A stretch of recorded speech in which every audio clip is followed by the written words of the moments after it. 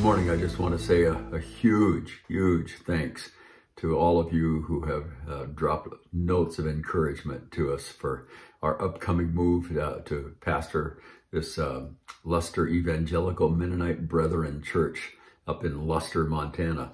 And uh, just so thankful for all of those notes. Man, they've just been such an encouragement. Thank you so much.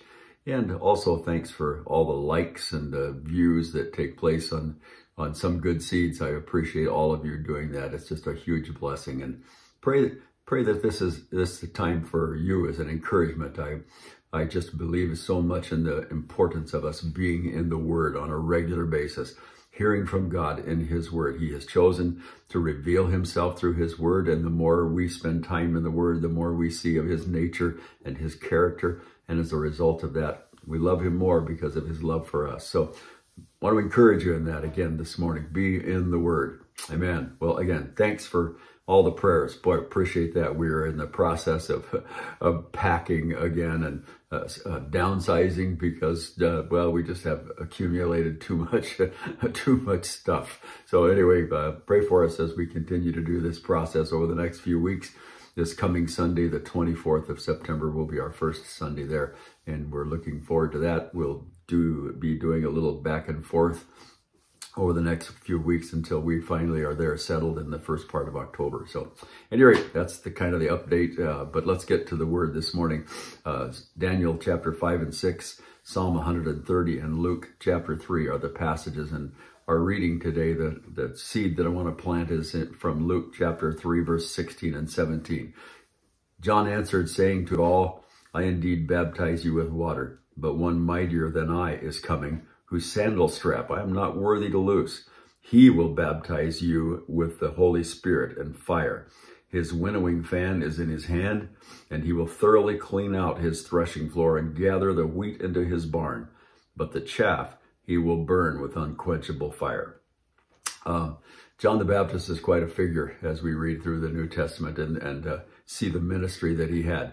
Course, uh, naturally speaking, he was Jesus's cousin, and uh, don't know what kind of interaction they had before uh, John began to preach, came on the scene and began to preach this word of uh, repentance and baptize people and, and all of those things. But boy, uh, here he is in camel hair with a leather belt and uh, uh, boy, quite a, uh, an unusual character. but boy, the word that he speaks is so powerful and, and really what he says is that his, his message is one of the coming of the Messiah. So it's such a powerful prophetic word from John, and uh, it speaks of the present situation. I baptize you with water, that's right now. He also speaks to the prophetic future. There is one coming, and also to the penalty of unbelief in verse 17. The present situation was that John was the forerunner of the coming Messiah. He was preaching a baptism of repentance and, and preparation for the coming Messiah which was his prophetic message. Uh, the problem was that the people didn't believe that he was coming uh, in the future, well, that Jesus was coming, but they saw his coming being uh, the deliverance from the bondage of Rome. They wanted to get out from underneath that, and and uh, but they didn't believe that he was the one uh, because of the, the the religious leaders didn't believe that because they didn't believe that they crucified him. They didn't see uh, the two mountains of his first coming and his second coming. And they didn't understand the, the first mountain that, that John was preaching about coming here uh, as the one who's going to deliver the nation. But they, they didn't see that, that that deliverance was uh, in the future when uh, soon, I believe very soon, that Jesus is going to come back and set all those things right. For the, He's not through with Israel, is basically what we're saying. But uh, the separation that would take place comes as a result of unbelief. Those who did not believe um, from that time until this, those will uh, suffer separation from God for all eternity and spend eternity separated in, in hell. And uh, that's not a, a great thought to even spend any time thinking about, but it's true. And the reality of it is there.